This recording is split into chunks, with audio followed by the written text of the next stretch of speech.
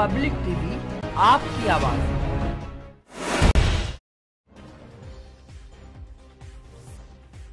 संभल में एसडीएम कार्यालय के बाहर एक महिला ने करीब एक घंटा तक हाई वोल्टेज ड्रामा किया। आरोप है कि पट्टे में नाम दर्ज होने के बाद भी महिला को जब पट्टा नहीं मिला तो एसडीएम कार्यालय पर जमकर हंगामा किया।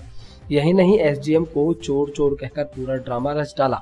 हालाँकि बाद में पुलिस प्रशासन के समझाने पर पीड़ित महिला आश्वासन पर घर वापस लौट गई। आपको बता दें कि संबल ज़िले के हयात नगर थाना क्षेत्र के गाँव सोंधन निवासी महिला आशा अपनी पति के साथ आज एसडीएम संबल दीपेंद्र यादव के कार्यालय पर पहुँची और जब एसडीएम ने महिला की नहीं सुनी तो वो अपना आपा खो बैठी और कार्यालय के बाहर हंगामा काटने लगी।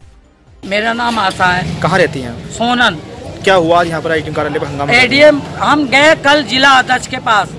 जिला अध्यक्ष बोले कि मंगर को जाओ। ये कह रहे नहीं सोमवार के ही भेज दो मेरी बेजती होगी जिला अध्यक्ष से कह रहे हैं। हम जब यहाँ आए तो मेरे आदमी को कह रहे हैं चुप। कौन कह रहा है? ये एडीएम साहब हमको हम बोले तो कह रहे हैं कि लेडीज़ पुलिस बुला दूँगा ये खुद चोर है।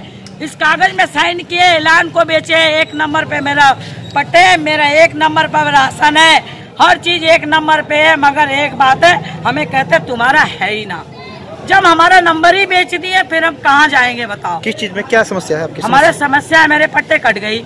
और हमारे पट्टे नहीं दे रहे हैं। एडीएम साहब यहाँ आ डीएम के आ गई? कप्तान सही क्यों नहीं दे रहे? कह रहे तुम्हारा है ही ना।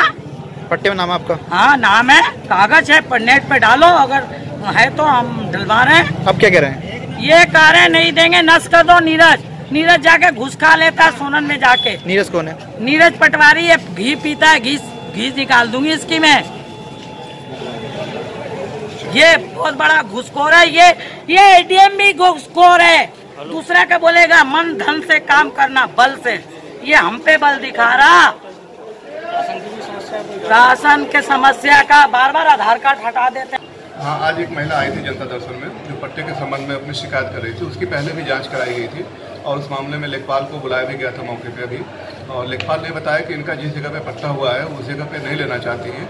कोई दूसरी भूमि जो दूसरे के नाम पे पट्टा है, उसको लेना चाहती हैं। तो इस वजह से जो है, उनको असंतुष्टि है और नियमानुसार उनको जो है, जब तक पट्टा निरस्त नहीं हुआ था दिया नहीं जा सकता।